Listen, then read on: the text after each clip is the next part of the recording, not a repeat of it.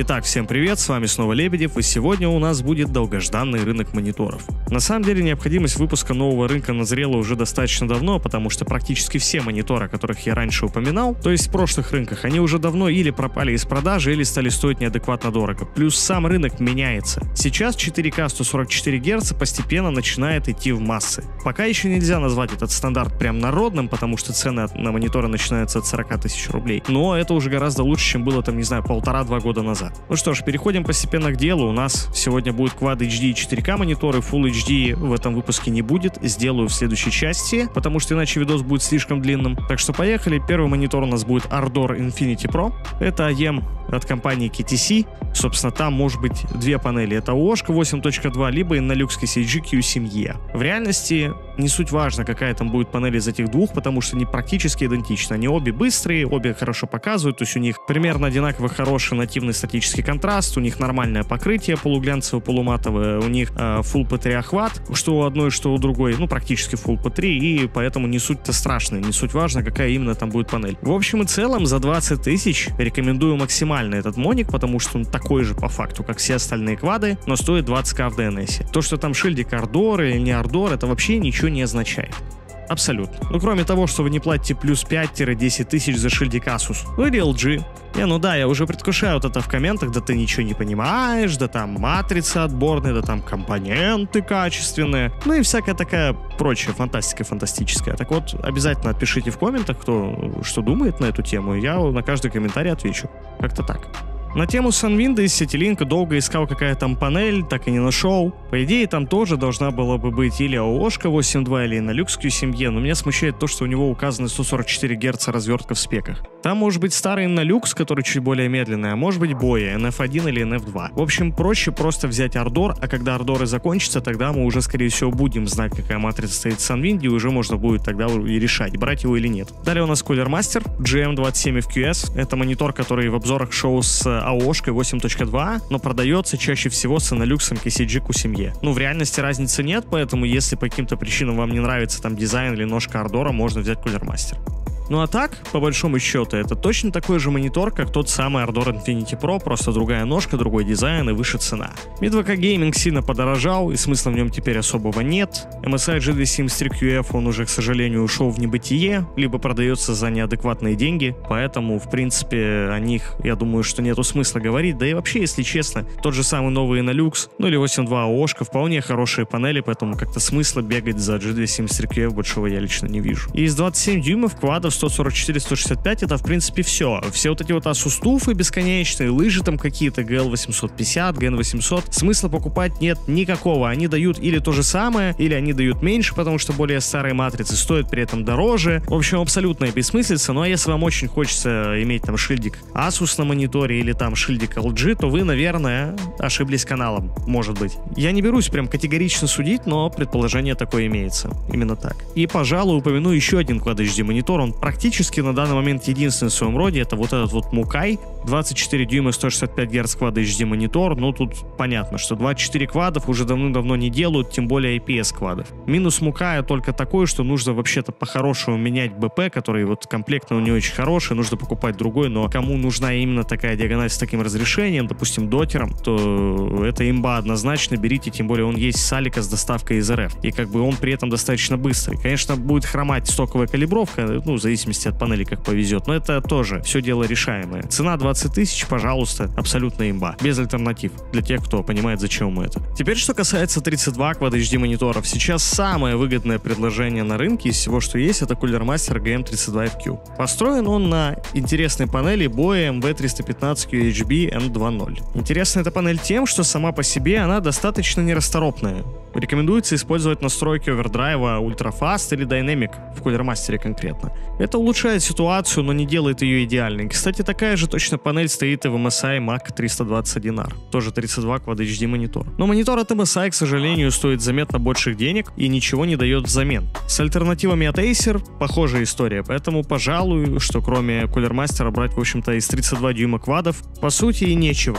VA-мониторы, напоминаю, я не рассматриваю, кроме одного, это Odyssey G7, и мы постепенно переходим к квадам 240. Да, Odyssey G7 до сих пор актуален. Сейчас он, конечно, уже не так хорош, как был три года назад, ну, понятно, три года это большой срок для монитора, но он все еще остается единственным, по факту, в своем роде, быстрым 240 Гц VA Quad HD моником. Аналоги типа Лося Парша 27PD или Омина 27C все же немного другие, они построены на немного других панелях, они немного медленнее. Там ООшки стоят, поэтому Odyssey, да. У него минус, конечно, что он дорогой, до сих пор там 45к новый, за эти деньги, конечно, я бы, наверное, не брал, как и другие IPS Quad HD 240 Гц мониторы, например, вот этот вот Philips. То есть я считаю, что это слишком дорого. Но кому надо именно 27 дюймов Quad HD, вы знаете, что покупать. Ну и еще есть вариант вот у нас в DNS, это Лось AG274 QZM, мини-LED, 240 Гц Quad HD монитор, тоже IPS, но 85 500 рублей. По моему мнению, это слишком-слишком большая цена, слишком дорого. Ну что ж, пора переходить к 4К мониторам. На самом деле 4К мониторов сейчас раздолье, разной диагонали, 27 до 32 дюймов.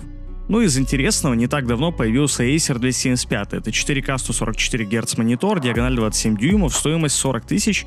В целом за эти деньги вполне себе хорошее решение. Единственный момент, что нету точной информации о том, какая там стоит панель. Но, к большому счастью, в спеках DNS указана степень коутинга покрытия. И по нему я нашел, что скорее всего это лыжи LM270 VR8 SSE1. Ну, в реальности это не сильно удивляет. На рынке уже есть мониторы на этой панели, но этот стоит дешевле. И панель вполне себе хорошая на самом деле. Она в достаточно большой степени лишена тех недостатков, которые были у лыж LM 270 Gen 2, там Gen 1, в меньшей степени Gen 3, то есть это низкого нативного статического контраста, это ярко выраженного глоу эффекта. Панель при этом достаточно быстрая, хотя, конечно, не быстрее, чем Inalux 28 дюймов, но мониторы с этими Inalux стоят уже несколько дороже, там скорее 50 тысяч рублей. Это вот, допустим, вот этот вот лось, или Giga M28U, или Odyssey G7 IPS 4K44, или Mac 281. Все эти мониторы одинаковые. Все они построены на одной панели, вот этой Inalux M280 DHJ K7N. На самом деле эта панель это одна из лучших IPS-матриц современности, если не брать в расчет сравнение с моделями с мини-ледом и так далее и тому подобное. Самое главное ее преимущество в том, что она ну, невероятно быстрая. Это на самом деле заметно невооруженным взглядом очень даже хорошо. И вы можете здесь наблюдать замеры на RTX, на Gigu M28U, а все эти мониторы, которые я перечислил до этого, они тоже построены на этой панели, соответственно, они такие же быстрые. Единственное, что могу сказать про Mac 281, я на нем почему-то в BIOS не могу зайти обычно. Причем даже он подключен вторым, я не могу зайти с первого в BIOS при этом. Это вот такая вот неприятная особенность. По идее, у других мониторов такого быть не должно. По крайней мере, я точно знаю, что у Лося 28GX2 этого нет. Поэтому как-то что там все не доработали. Ну а так, можно выбирать любой монитор из тех, что базируется на этой матрице. Выбирайте просто скорее по дизайну, по ножке, там, по цене можете выбирать, тоже хорошее занятие. Покрытие у мониторов на этой панели тоже вполне себе хорошее, она не страдает каким-то сильным глоу-эффектом, у нее неплохой нативно-статический контраст, широкие охваты, в общем, панель очень хорошая. Горячо рекомендую, до 50 тысяч рублей, пожалуйста, приобретайте. То есть это 275 Acer, и это все мониторы на 28 дюймов и на люксе. Это просто отличное решение, если нужен универсальный, хорошо показывающий, быстрый монитор и для игр, и для фильмов, и для работы, и для всего.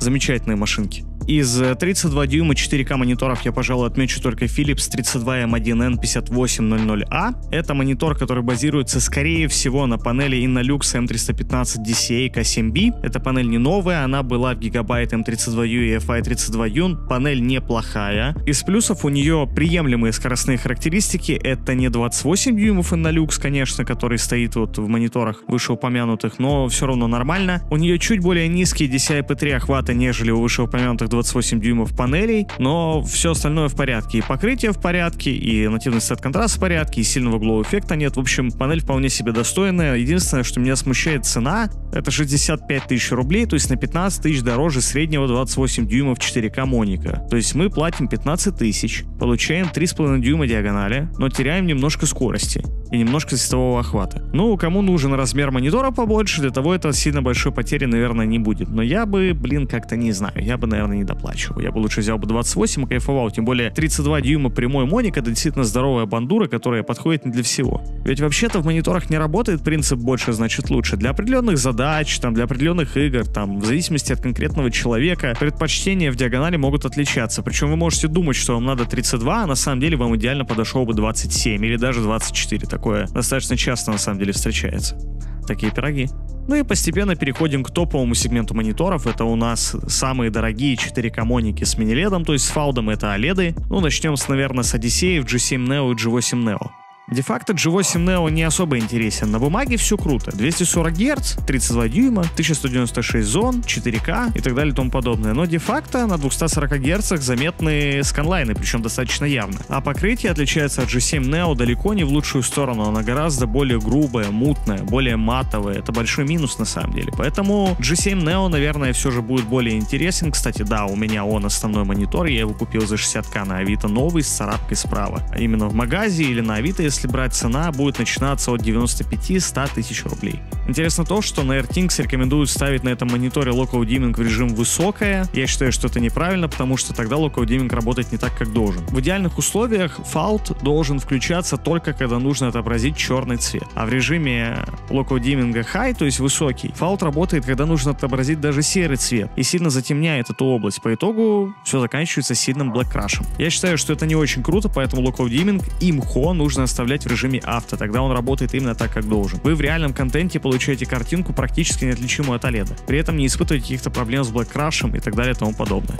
Скоростные характеристики у G7 Neo также в полном порядке, минус основной у него только один, и это углы обзора, которые достаточно сильно ограничены, особенно по вертикали. То есть это монитор для одного человека и для определенной посадки, определенной позиции, то есть смотреть на него нужно только во фронт. Именно так это и работает. Плюс высокая цена, да, около 100 тысяч. Цена высокая, да, но вы также должны понимать, что G7 Neo в данный момент, по моему мнению, это лучший мультимедиа-монитор из ЖК в плане в целом качества картинки. Насколько мне известно, Odyssey G7 и G8 Neo в данный момент это единственные на рынке VA-мониторы с таким количеством зон Dimming 4K 144+. При этом надо понимать, что это вейка быстрая, и при этом эта вейка также имеет высокий нативный статический контраст. Вот если взять, допустим, Asus, вот этот вот PG32 UQX, который тоже имеет 1196 зон, но он IPS, он такого реального контраста давать не будет. То есть там картинка уже не будет так похожа на OLED, как она похожа на G7 Neo. Поэтому, учитывая невероятную цену того же PG32 UQX, и учитывая то, что в целом по качеству картинки он будет уступать G7 Neo, у него есть аспекты, которых он лучше, например, это яркость. Особенно в HDR это будет заметно, но касаемо именно качества картинки, в потребительском именно сегменте G7 Neo в данный момент лучший ЖК-монитор в мире. Поэтому, ну, стоит или не стоит он 100 тысяч, это решать вам. В целом, касаемо 4 моников, наверное, обо всем поговорили. Я не буду затрагивать всякие OLED, FO48U лыжи, 4022, о них уже и так все знают. 4022 вы можете поставить вместо монитора, но для определенных задач, там, какие-то сингл-игры поиграть, и нужно расстояние определенное до него, то есть желательно больше метра. Потому что 42 дюйма это огромная дура. 48 я вообще даже не говорю, это не монитор, это телек без TV-тюнера. Поэтому об этом особо как-то говорить, мне кажется, смысла большого нет. Из более практически применимых OLED есть есть лыжа 27 GR95, это Quad HD 240 Гц 27 дюймов OLED, но есть проблема. И даже не одна проблема, а две. Во-первых, покрытие. Оно у него более матовое, чем обычно. И вторая проблема его пиксель, то есть точнее субпиксельная структура. Это RVGB. Соответственно, текст будет отображаться в любом случае с некоторыми артефактами, по крайней мере, пока что. Может быть, как-то это можно решить клиртайпом. Я в этих вопросах не очень силен, но проблема в данный момент присутствует, и с ней ничего особо не сделаешь. Так что такие вот две проблемы. Плюс монитор стоит очень больших денег, и его у нас не купить купить в РФ официально. Есть еще QD OLED ультравайды, там много кто выпустил. Samsung выпустили, первыми выпустил Dell 3423DV свой, еще MC там какой-то выпускает. Но там другая проблема. Там QD OLED, там вроде нормальное покрытие, практически глянцевое, но сам по себе QD OLED, он такой по своей природе, что если есть какое-то внешнее освещение, то черный цвет он показывать уже не может. Он там такой фиолетовый показывает. Это проблема. Плюс там тоже не совсем все идеально с текстом. Плюс он ультравайд. Плюс это не 4К все эти мониторы, что лыжа 16 на 9 9, что вот это вот 21 к 9 ультравайд, и как бы 4К OLED пока не выпускают компании. Ну, понятно, почему они 4К выпустят через год, чтобы заново продать по второму кругу то же самое людям. Ну, это просто потому, что те, кто ждет OLED, они купят сейчас OLED, которые есть, и через год купят опять то же самое, только 4К. Это называется капитализм. Очевидно, что это специально делается, потому что никаких ограничений производственных в данный момент нет, чтобы делать 4К мониторы. Просто, ну, вот так вот. Потому что могут, потому и делают. Такие вот пироги. Вообще, кстати, тему ультравайда в целом даже как-то освещать не хочется, потому что особо и нечего. Пропадают мониторы, даже прямых IPS мало осталось, и цены высокие. А покупать вейки ультравайды, супер медленные, ну не знаю. Ультраширокоформатники 32 к 9 тоже. Понятно, что если вам нужен подобный моник, берете G9 Neo и все. Там 2048 зон и супер огромная цена. Но может быть симрейсеры возьмут, но симрейсерам надо еще шире там. Они ставят три монитора по 16 на 9 и ставят эти вот призматические штуки, чтобы их визуально объединять. В любом случае, это очень узконаправленные уже идут продукты, и люди, которым они нужны, они берут и покупают их. Они не смотрят никакие рынки, они и так знают, что им нужно. А если вы просто хотите по приколу купить себе 32 к 9, я единственное, что скажу, не надо этого делать, потому что вы разочаруетесь. В лучшем случае вы его сдадите в магазин, потеряете время. В худшем случае он останется у вас, и вы не будете его использовать, потеряете деньги. В общем, примерно так. Всем, ребят, огромное спасибо за просмотр. С вами был, как всегда, Лебедев. Не забываем подписываться на канал, не забываем посещать вечерние стримчанские. Также не забываем подписываться на мою группу ВКонтакте. Всем огромное спасибо, всем удачи и до скорой встречи на Union Point. Давайте, ребят.